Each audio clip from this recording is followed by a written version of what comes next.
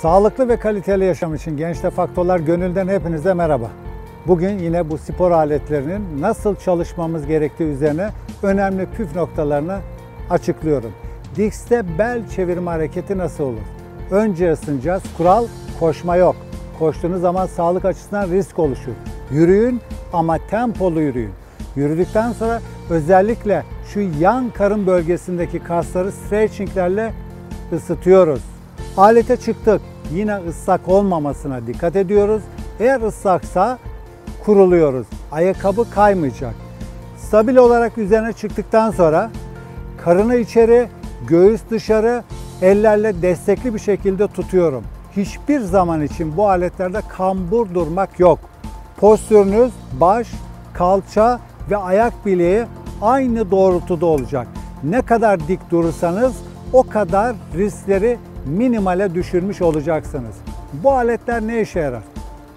Hepimizin en önemli sorunlarından biri de karın ve yan karındaki biriken yağlar. Bunları çok iyi devreye sokabilme şansına sahipsiniz. Özellikle kötü beslendiğiniz zaman, şekerli ürünleri tükettiğiniz zaman yan karın bölgesinde yağlanma çok hızlı bir şekilde olur. Hem sağlık açısından şu karın bölgesindeki yağlar risktir hem de görünüm güzelliği açısından pek hoşumuza gitmez. Evet dik durdum, karnı içeri, göğsü dışarı çıkardım. Aman ha 360 derece olacak şekilde dönmek yok. Burada kilitlendi ama diğer tarafta kilitlenme riski yok. Ne kadar çok dönerseniz o kadar tehlike artar. Şu başlangıç pozisyonu ise sağ ve solda 45 derecelik açı yapacağız. Yani şundan fazla dönmek yok. Bakın size doğru bakıyorum. Dönen sadece bel kasım. Bir sağ bir sol. Hiçbir zaman için 360 dereceye kadar döndürmeyin. Hep vücut dik karşı tarafa bakıyorum. Hata bu.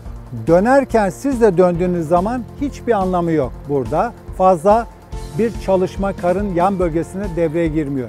Yine dönerken bu şekilde döndüğünüz zaman sakatlık riski artıyor. Tekrar söylüyorum. Kameraya doğru dönüyorum dik. Gövdem dönmeden şu beli döndürüyorum. Bir tarafta nefes alıyorum, nefes veriyorum. Alın, verin.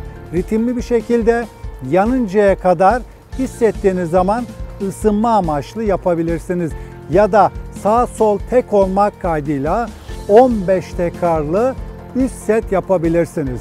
Bu hareketle yan grup kaslarının oradaki yağların çok hızlı bir şekilde yanmasına katkı sağlıyorsunuz. Sağlıcakla kalın, hoşça kalın genç defaktörler.